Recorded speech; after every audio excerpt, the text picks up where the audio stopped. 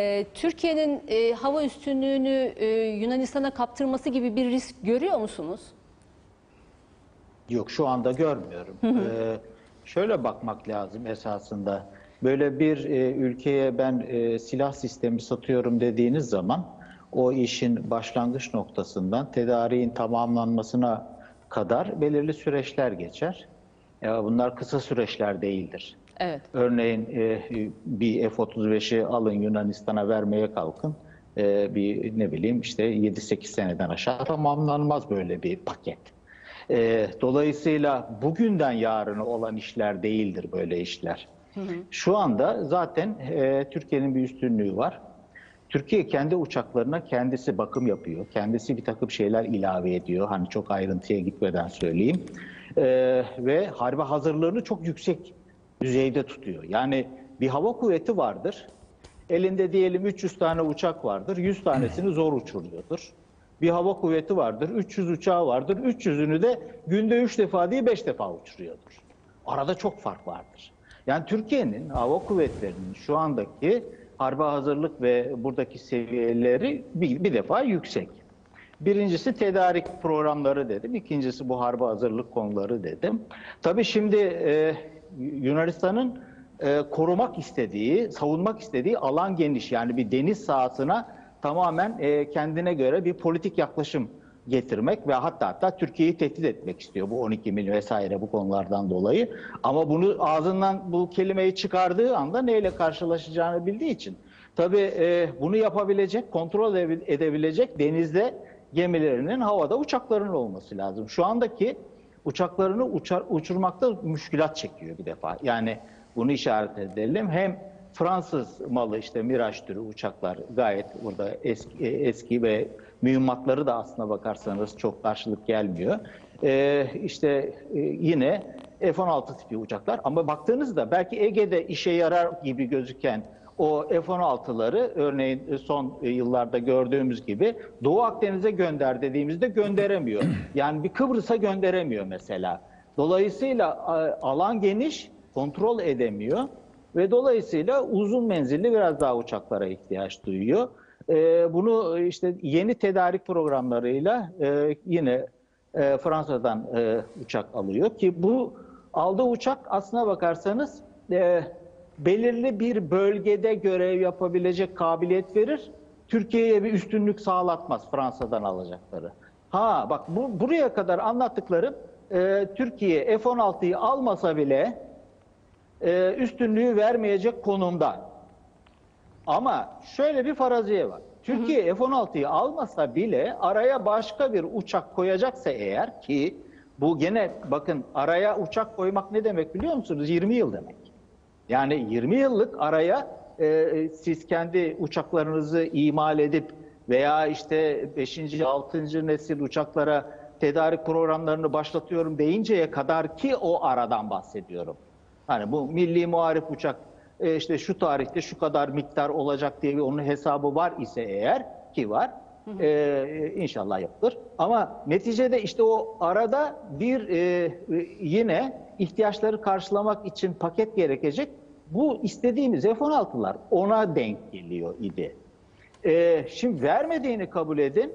Yine araya bir paket bir yerden tedarik uçak alınır bir şekilde denge yine sağlanır. Yani bu bir faraziye. Yani bu illa öyle olacak olması gerekir demiyorum. Tehditlere göre bunun zaten muhasebesini yapmak mümkündür.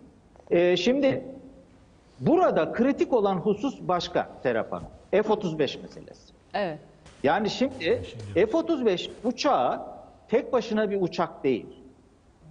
Bir zincirin halkası olarak bakın olaya. Amerika, İngiltere, Hollanda, Norveç, İtalya, e, Yunanistan alırsa Yunanistan. Oradan atlayın. İsrail. E, İsrail. Bu zincir içerisinde işte Türkiye vardı, Yunanistan yoktu. Ee, Şimdi Türkiye, yok, Yunanistan var. Evet, onu vermeye. Tamam, bir, belirli bir zaman geçecek. İlk söylediğim gibi 7-8 seneye alır bunu tedarik etmesi ama neticede bu uçak diyelim bugün hepsini aldı. Hadi mümkün değil ama hepsini aldı denge o zaman bozulur. Yani Neden? Türkiye yok, Çünkü- e, pardon nedeni tamamlayın sonra sorayım. Affedersiniz buyurun. Çünkü o uçak o zincirin halkası gibi aslında karşınıza aldığınız sadece Yunanistan olmuyor o zaman. Amerika'nın gücünü arkasına almış oluyor. O zincir halkalarında saydığım ülkelerin bütün sistemlerinin gücünü, silah sistemlerini, lojistiğini vesaire bunları e, çünkü ona ikaz edebileceği her şeye tedariği e, o, o uçak modelinden veya çalışma sisteminden kaynaklı başka bir konu bu. O beşinci nesil deyip sadece uçağa bağlamayın. Onu bir sistem olarak kabul edin. Ee, Dolayısıyla hani 30 tane e, ne bileyim Rafale alırsınız verirsiniz o başka bir şeydir. Ama 40 tane e, F-35 alıyorsunuz dediğinizde onun sahaya yansıması çok farklı olur. Ee, bu, bu yani hesabını yaparken bunun bu tehdidi belirtirken F-35 başka bir uçak. Yani onu öyle işa- işaretlediğim. Dolayısıyla şimdi bu önümüzde kritik yani hava hava kuvvetlerinin tedarik programları nedir bilmiyoruz tabii bunları faraziye üzerinden konuşuyoruz. Önümüzde kritik yaklaşık bir 8-10 sene var Serap Hanım. Şimdi tutup da Forbes'ta şurada burada bir, bir yazılar çıkıyor diye bunu çok haber etmeyelim. Yani konumuz ne biliyor musunuz bizim? Şunda, e, şu anda Amerika Birleşik Devletleri bizi F-35'ten çıkardı. E tamam milli muharip uçağı yapıyoruz tamam. F-16'yı vereceğim dedi versin.